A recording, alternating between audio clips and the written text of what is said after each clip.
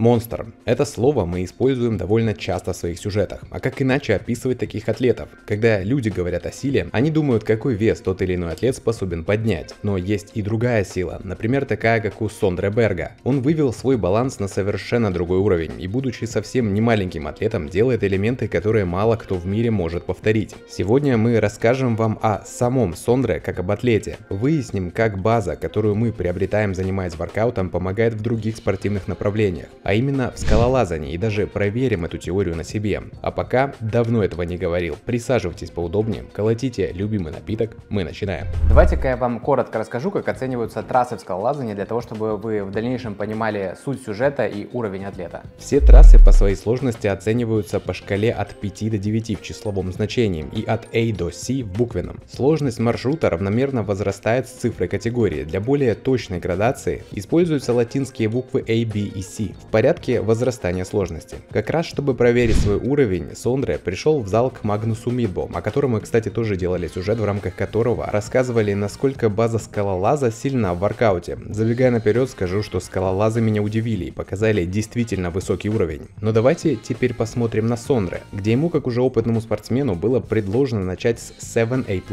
И как наблюдателю кажется, что то, что он делает, довольно легко, однако поверьте мне, это далеко не так. Самая сложная стена в этом зале 8A, то есть то, что пробует сейчас атлет, довольно-таки сложный маршрут в зале. И первые две попытки у Сондры заканчиваются неудачей. Однако пару корректировок от Магнуса Мидбо и вот результат.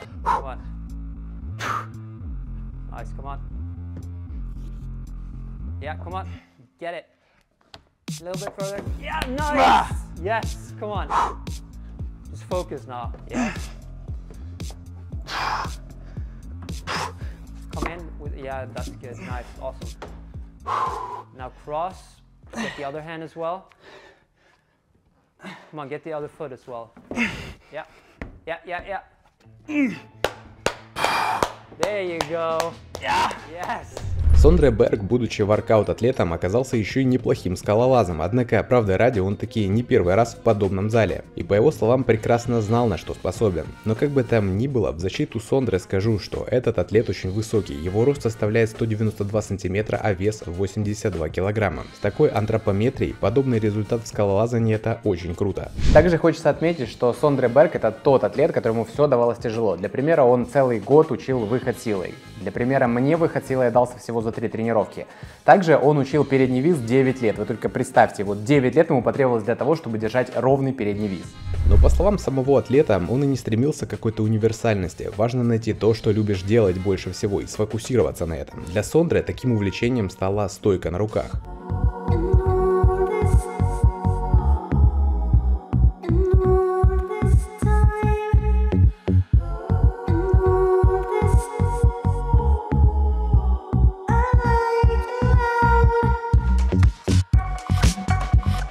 Два года назад на своем канале Сондре прыгнул с высоты примерно метр шестьдесят пять, подойдя к вопросу довольно профессионально, предварительно сделав множество, назовем их, пристрелочных попыток, и в конце концов, ему это удалось. Я показываю вам это для того, чтобы вы видели, какое на самом деле множество неудач стоит за каждым движением, которое вы потом кидаете друг другу в инстаграме со словами «Нифига себе, смотри, что делает» или что-то в этом духе. В инстаграме у Сондре Берга есть видео, в котором он показывал, какое количество неудачных попыток стоит за каждым его новым видео. Что же касается скалолазания, то для атлета это своего рода способ увеличить свою базу, ведь он не любит делать классические отжимания от пола, подтягивания и тому подобные скучные движения. В этом смысле скалолазание действительно интересный вид спорта, который вносит соревновательный аспект в ваши тренировки и который к тому же хорошо сочетается с воркаутом. А вот сочетается ли воркаут со скалолазанием, мы решили проверить на себе.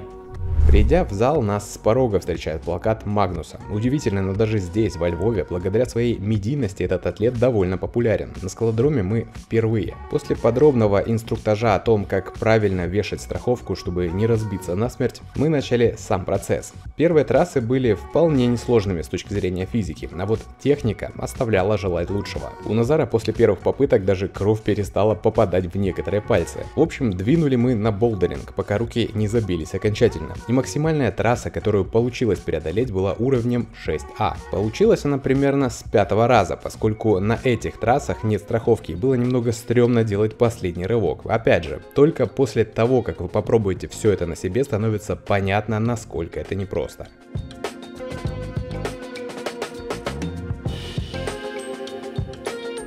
Вывод могу сделать такой. Воркаут является действительно очень крутой базой для скалолазания, однако без нормальной обуви, без техники и без навыка именно лазания вы очень высокий уровень не возьмете, впрочем, как и в любом другом виде спорта.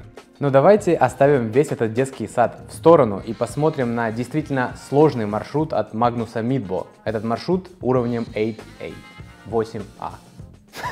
Сондре Берг чисто по приколу попробовал несколько раз удержаться в стартовом положении. И как видите, это гораздо сложнее, чем кажется. К слову, маршруты одного уровня сложности могут также отличаться и по принципу прохождения. Так для одного маршрута вам будет необходима выносливость, для другого координация и сила пальцев. Хотя, честно скажу, без этого в скалолазании вообще делать нечего. Ну и наконец взрывная сила, как например в этом маршруте уровня 8A+, от Адама Ондра.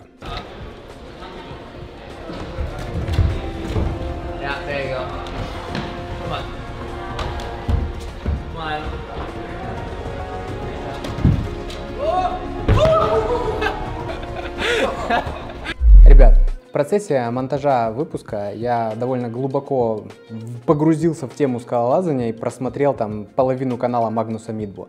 А, в общем, я нашел такое интересное видео, где Адам Ондра, он же, э, по словам Магнуса, один из лучших скалолазов мира, взбирается просто по обычной стене. Там нет никаких зацепов, ничего, просто обычная стена. Я хочу показать вам этот фрагмент целиком.